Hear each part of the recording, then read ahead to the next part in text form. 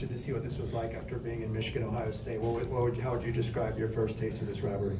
A lot of fun, a lot of fun. You know, it just had a different vibe uh, than any game that we'd had this season. And guys that have been here in the past, um, you know, told me that that was going to happen, and, and you know, it was cool. And, and obviously, uh, the, the, stadium wasn't packed, but with there being a lot of USC fans there too, it kind of felt like a, a neutral site a little bit, which made things even more interesting. So. Um, yeah, just just a lot of fun.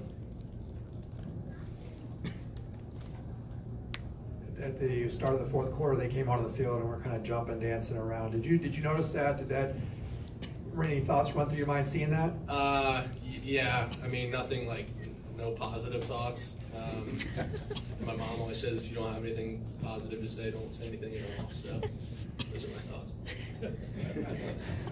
well, did you take us through? Uh, can you take us through that uh, touchdown pass to Theo in the first quarter and your reaction afterwards? Yeah, that was um, a cover zero look where we were going to have, uh, you know, I, I, alerted it at the line of scrimmage, uh, just changed some blocking schemes around, and uh, knew with the flat top defense that with Theo's speed, um, he was going to have a chance. And uh, Iman Marshall, I remember hosting him when he visited Michigan. He's obviously their best secondary player, uh, a top guy in the country, but you know that doesn't really scare scare us away. And um, I knew Theo was going to make a play. I just give him air, and, and he can adjust to it accordingly.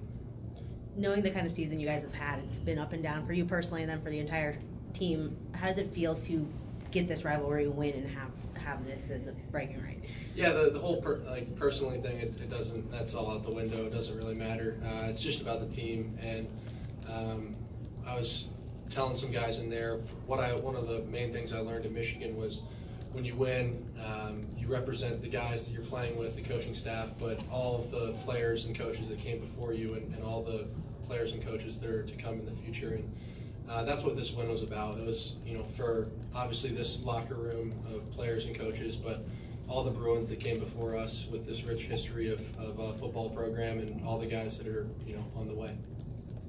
And I, I know they mentioned the ups and downs and everything, but I mean, just can you walk me through what this week was just like from practice to the game? Just you know. Just I think we had a great week, a great week of training. Um, guys were locked in, just like every other week though, and uh, it's. I know we, we had two wins going into this game, uh, but it just it's not. It wasn't a two-win football team. Um, obviously, injuries and everything kind of played a part into into that record, but uh, the, the coaching staff did a great job of keeping us focused. The guys had a great positive outlook every Monday when we come into meetings. So um, yeah, we, we came in last Monday just excited. It was the crosstown rival, and, and we knew we could uh, win this thing. Joshua Kelley had a really great game, obviously. How does that kind of affect your maybe like mental preparation or confidence, kind of knowing that he can consistently put up yardage? Yeah, well, I think uh, a quarterback's best friend is a solid run game and uh, 295 yards, I think. That's more than solid. And just, it doesn't really help preparation or anything um, because you, you don't know going into the game that you're going to have a guy rush for 295, but in the flow of the game, it, it definitely helps. Uh, it helps play action. I think we hit a couple uh, flat routes, um, big conversions on third down um, that, you know, I, I show play action and, and they see, you know, counters and, and halfback dives right up the middle so the, the linebackers and the safety start to cheat up, and, and that helps me out personally a lot. Well, just um, it seemed like you were able to complete it, complete a lot of passes into tight spaces. How much did that jump ball on that first drive to the tight end kind of help get you going too?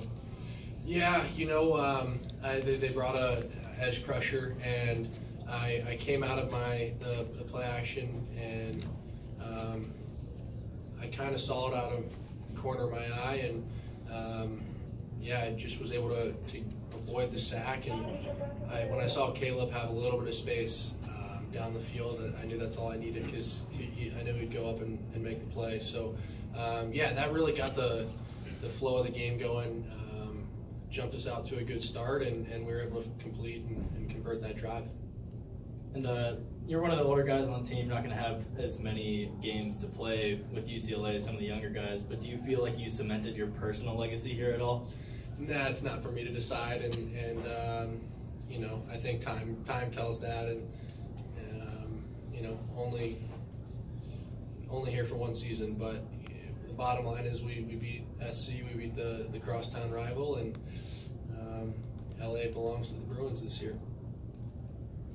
Wilton, in the play-by-play, uh, this, this play might not stand out, but it was the first, it was the drive when you guys were down six, and you were going for your own two-yard line, you got hit on the first play of the drive, and then that third down, the pass to Theo, to keep that drive alive, and then you eventually score on Kelley's fifty-five-yard run. How big was that pass, even though it didn't go for thirty yards or whatever? Well, the one I threw away uh, where I got hit pretty hard, that stands out because that, that hurt a lot. But um, yeah, uh, Theo made a great read. Uh, they had, I think it was number seven, kind of in there in the, in the middle of the field, the hole. He was spying. And Theo came around his break, saw that, and as soon as I locked eyes with Theo, I knew he had seen that. He got QB friendly, and, and we moved the chains. And um, yeah, it was a 90, 96 yard touchdown drive or something like that. But yeah, that's big time. That's big time to um, get pinned back like that and then come out and answer with authority is um, game changer. Thank you, Wilton. Thanks, guys.